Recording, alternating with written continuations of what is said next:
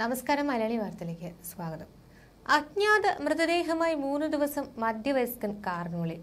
ഒടുവിൽ കാറിൽ നിന്ന് ദുർഗന്ധം വമിച്ചതിനെ തുടർന്ന് നാട്ടുകാർ പോലീസിൽ വിവരം അറിയിച്ചതോടെയാണ് ദാരുണ മരണം പുറംലോകം അറിയുന്നത്.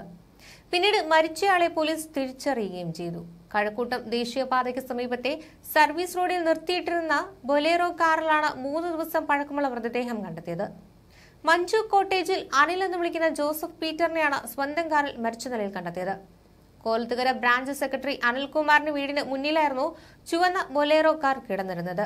അനിൽകുമാറിനെ തിരികെ രാവിലെ പത്തോടെ വീട്ടിലെത്തിയ സുഹൃത്ത് കാറിൽ നിന്ന് ദുർഗന്ധം ഉയർന്നതിനാൽ സംശയം തോന്നി നടത്തിയ പരിശോധനയിലാണ് മൃതദേഹം കണ്ടെത്തിയത്. ഉടൻ അനിൽകുമാറിന്റെ വീട്ടുകാരെയും തുടർന്ന് തുമ്പ പോലീസിലും വിവരം അറിയിക്കുകയായിരുന്നു Kazhakkoottam cyber city assistant commissioner നിയാസിന്റെ നേതൃത്വത്തിൽ ഉടൻ പോലീസ് എത്തി സ്ഥലം പരിശോധിച്ചു. കാറിന്റെ പിൻസീറ്റിന് താഴെ അഴുകിയ നിലയിലായിരുന്നു മൃതദേഹം കണ്ടെത്തിയത്. കാർ ഓടിച്ചു വന്ന ജോസഫ് കാർ ഒതുക്കിയ ശേഷം പിൻസീറ്റിൽ കിടന്ന് ഉറങ്ങിയിരിക്കാമെന്നും ഉറക്കത്തിൽ ഹൃദയസ്തംഭനത്താൽ മരിച്ചതാകാമെന്നുമാണ് പോലീസ് നിഗമനം. മൃതദേഹത്തിൽ മുറിവോ ചതവോ തന്നെ ഇല്ല. വണ്ടിയുടെ താക്കോലും പേഴ്സും മൃതദേഹത്തിന് സമീപത്തു നിന്ന് തന്നെ ലഭിച്ചിരുന്നു. പോസ്റ്റ്മോർട്ടം റിപ്പോർട്ട് ലഭിച്ചാൽ മാത്രമേ ദുരൂഹതയുണ്ടോ എന്ന് വ്യക്തമാകൂ എന്നാണ് തുമ്പ എസ് എച്ച്ഒ ബിനു പറയുന്നത്. തിരുവോണ ദിവസം തങ്ങളുടെ ടിപ്പർ ലോറിക്ക് സമീപത്തായി കാർ കിടക്കുന്നത് അനിൽകുമാറിന്റെ വീട്ടുകാരുടെ ശ്രദ്ധയിൽപ്പെട്ടിരുന്നു. എന്നാൽ അനിൽകുമാറിനൊപ്പം തിരുപ്പതിക്ക് യാത്ര പോയ സുഹൃത്തുക്കളുടെ വാഹനമാകാമെന്ന് കരുതിയാണ് കൂടുതൽ അന്വേഷിക്കാതിരുന്നതെന്നാണ് വീട്ടുകാർ പോലീസിനോട് പറഞ്ഞത്. എന്നാൽ സുഹൃത്തുക്കളുമായി ഇടയ്ക്കിടെ യാത്ര പോകാറുള്ള ജോസഫ് പീറ്റർ രണ്ടോ മൂന്നോ ദിവസത്തിനു ശേഷമാണ് മടങ്ങിയെത്താറുമുണ്ടായിരുന്നത്. അതിനാലാണ് കാണാതായതായി സംശയിച്ച് പോലീസിൽ പരാതിപ്പെടാതിരുന്നതെന്നാണ് ബന്ധുക്കൾ അറിയിക്കുന്നത്. വലിയ വെളി ഗ്രൗണ്ടിന് സമീപം വാടകയ്ക്ക് താമസിക്കുകയായിരുന്നു ജോസഫ് പീറ്റർ. ജോലിക്കായി ഷാർജയിൽ പോകുന്ന ഭാര്യ മഞ്ജുവിനെയും മകൻ ധനുഷിനെയും ജോസഫ് പീറ്റർ ഞായറാഴ്ച തിരുവനന്തപുരം വിമാനത്താവളത്തിൽ എത്തിച്ചിരുന്നു.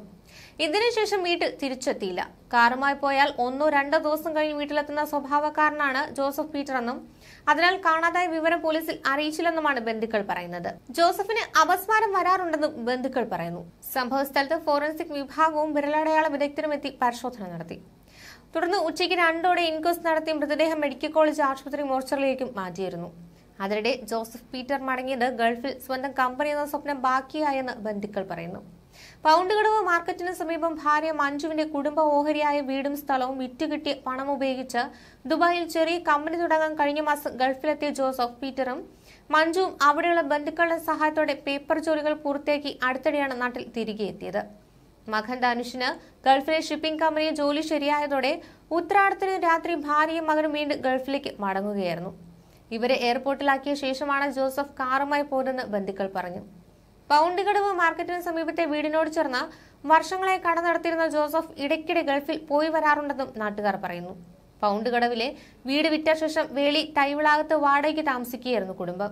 ജോസഫിന് കുടുംബ ഓഹരിയെ കിട്ടിയ വേളി ഗ്രൗണ്ടിന് സമീപത്തെ സ്ഥലത്ത് പുതിയ വീടിന്റെ പണികൾ പുരോഗമിക്കുകയാണ്. നെടുമങ്ങാട് വാളിക്കോട് താമസിക്കുന്ന പീറ്ററിന്റെയും പരേതനായ മറിയത്തിന്റെയും മകനാണ് ജോസഫ്. ഗൾഫിൽ നിന്ന് ഭാര്യയും മകനും തിരിച്ചെത്തി. മൃതദേഹം ഇന്ന് സംസ്കരിക്കുമെന്ന് ബന്ധുക്കൾ അറിയിച്ചു.